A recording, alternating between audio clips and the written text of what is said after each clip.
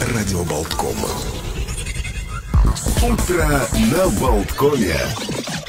Продолжается «Утро на Болткоме». Олег Пек, Александр Шунин вместе с вами. И мы сейчас поговорим действительно в том числе и о миграционном кризисе на границе. И как уже вот э, Александр Шунин э, упомянул, министр обороны Артис Пабрикс уже говорит о том, что в этом кризисе, учитывая ухудшающуюся ситуацию, пограничникам будет помогать и армия. Ну и на эти вот, ну и другие, может быть, темы мы побеседуем с командующим национальными вооруженными силами Леонид Калныч с нами на прямой связи. Здравствуйте, доброе утро, господин Калныч. Доброе утро. Здравствуйте. А, давайте начнем действительно с главного. Э, на ваш взгляд, как э, командующего, насколько серьезная ситуация на границе Латвии и Беларуси? Э, ситуация требует повышенной внимательности. И те иммигранты, которые ежедневно пытаются пересечь границу, они в данный момент постоянное количество, и это был самый главный повод, почему вооруженные силы э, некоторое время назад э, приняли решение в соответствии с приказом министра обороны э, усилить э, погранслужбу. А недалеко от границы в Латгалии э, сейчас проходят военные учения. Это совпадение или и прямая связь есть с ситуацией на границе? Э, разные есть учения. Это учения, которые э, необходимы для того, чтобы проверить взаимодействие внутри вооруженных сил между большим количеством подразделений, тренировать логистику, передвижение и, конечно, командные линии как таковые. Вся Латвия э, необходима для того, чтобы тренировать наши вооруженные силы, чтобы быть готовым защищать э, нашу целостность и суверенитет государства.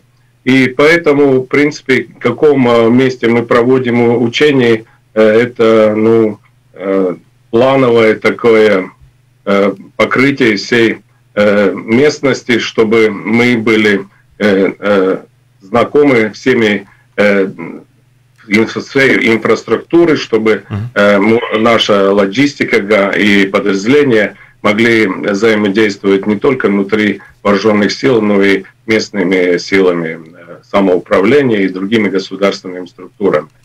Если мы смотрим шире, то ну, не должны же учения все время проводиться в центральной части, около Адажи, или как это было с большими учениями НАМЕС, когда у нас учения проходили, в принципе, в основном это центре и на западе. Сейчас э, мы проводим такие учения и на восточной части Латвии. А сегодня утром, буквально параллельно нашему эфиру, ну, чуть-чуть пораньше нашей беседы, а, министр обороны заявил о том, что мы а, в шаге от задействования четвертого параграфа договора НАТО, я так понимаю, речь идет о том самом договоре о коллективной обороне. Чуть более подробно расшифруйте, пожалуйста, о чем может идти речь. О чем будет речь, мне трудно сказать, потому что это обычно ну, что анонсирует да, или что, говорит что подразумевает та страна, которая, та, которая страна ну, требует э, э, это задействие четвертого э, параграфа. Четвертый параграф в основном это параграф, который э, инициирует начало консультации между всеми членами э, НАТО, что каким образом э, решать какие-то э, очень важные глобальные проблемы, которые в большинстве Э, состоит из э, нарушений безопасности или угрозы безопасности. Ну, а конкретно касаемо ситуации на границе с Белоруссией, не только уже Латвия, но и Литва, и Польша, все, э, члены, все члены блока. И может ли идти потенциально речь о каких-то военных операциях? Я думаю, в данный момент задействование этого четвертого параграфа ну, нет больших оснований. Прежде всего, здесь должен действовать Евросоюз. Евросоюз, который, э, в принципе, тоже взял какую-то обязанность на себя э, решать вопросы, которые э, связаны с обеспечением безопасности всей территории 27 семи стран и, естественно, и границ. Поэтому в первую очередь здесь работает Евросоюз. Сейчас такая э, обстановка, что э, необходимо ну, начать задействовать четвертый параграф, я лично не вижу. А скажите, вот то, что сейчас происходит на белорусской границе, можно ли это назвать провокацией, своего рода таким испытанием, проб, какими-то пробными силами, вот что, насколько, ну, дескать, потенциальный противник, э, как он от, отреагирует на такого рода проникновение через границу?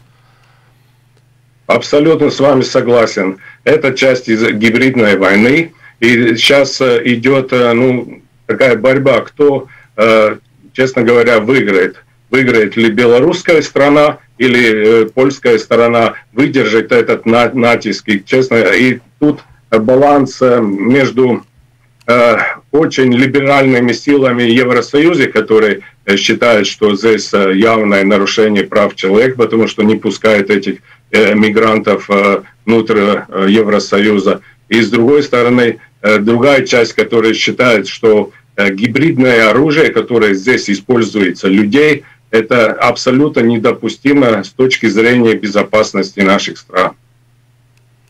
А вчера прозвучала информация со стороны э, Валсдрушбездейнс, ВДД, а, о том, что в ближайшее будущее, возможно, а, потоки мигрантов переместятся э, из Минска через аэродром э, Пскова. То есть, соответственно, через российскую границу они будут пытаться перейти, и тогда уже мы окажемся на этом вот на фронтире.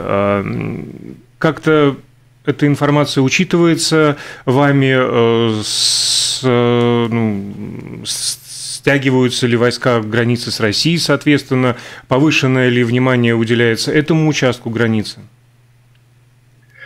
Мы все учитываем, чтобы обеспечить государственную безопасность и защиту.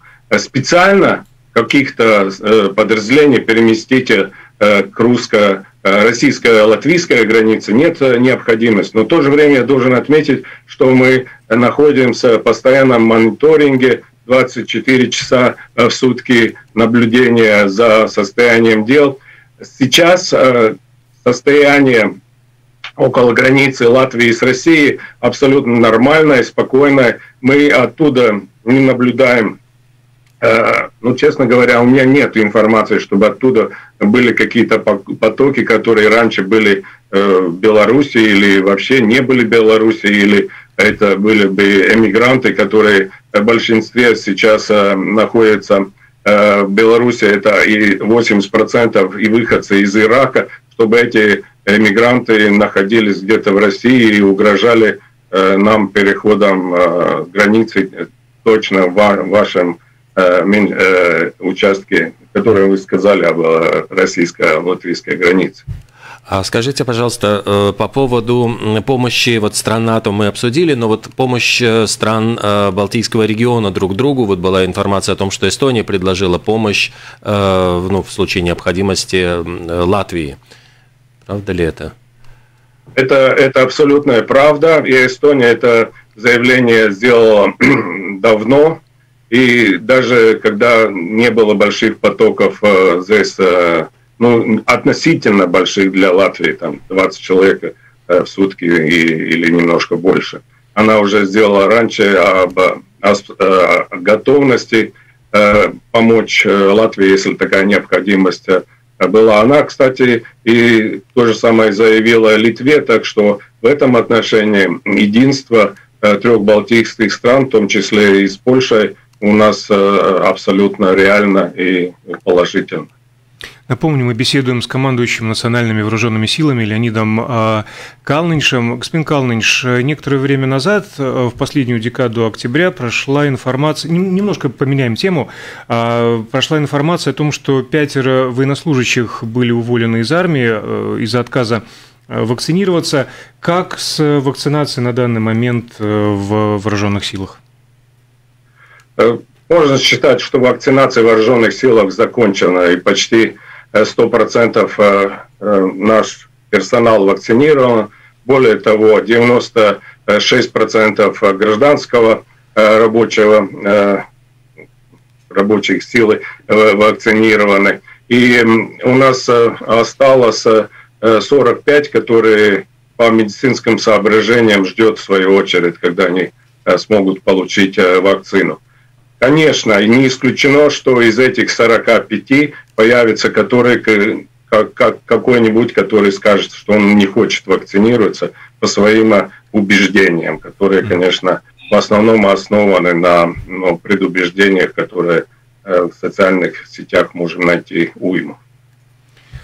Да. Хорошо, а, а, огромное ну, спасибо за, за уделенное нам время. Поздравляем с праздниками вас, с наступающими, да, с прошедшим 11 да. и с наступающим. Командующий национальными вооруженными силами а, Латвии Леонид Калнинш был с нами, и вот мы поговорили о ситуации, в том числе в основном на границе с Белоруссией, и, как ранее было заявлено, в случае необходимости вооруженные силы способны и готовы незамедлительно реагировать на обострение этой самой ситуации.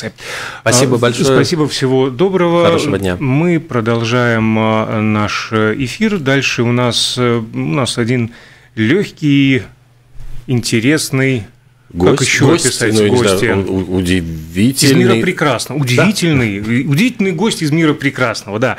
Вот такого тумана подпустим этим э, тоже ноябрьским туманным утром.